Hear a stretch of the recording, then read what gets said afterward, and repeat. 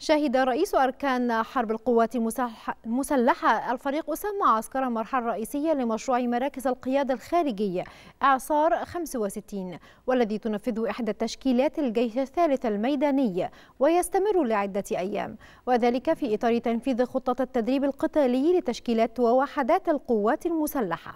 وفي ختام المشروع أشاد رئيس أركان حرب القوات المسلحة الفريق أسامة عسكر بالأداء المتميز الذي ظهرت عليه العناصر المشاركة المشاركة بالمشروع كما طالبهم بالحفاظ على المستوى الراقي والكفاءة القتالية واستعدادهم الدائم للحفاظ على مقدرات الوطن وعلاء كلمته.